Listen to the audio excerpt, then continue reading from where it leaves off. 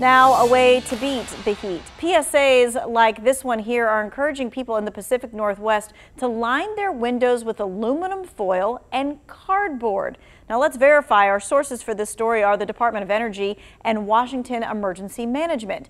We found that, yes, it is true. The agencies even recommend using aluminum foil covered cardboard between the windows and the drapes to reflect the heat back outside. It's even more effective, they say, if you can put that piece of cardboard cardboard or whatever on the outside of the window instead of inside.